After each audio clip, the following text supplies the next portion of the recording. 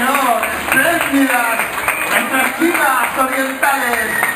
Maravilloso haberos tenido aquí. Que suenen fuertes aplausos.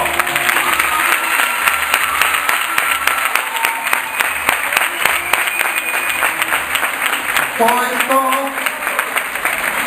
ha sido en parte el mérito de Gabriela Escalice. Ese fuerte aplauso para su profesora.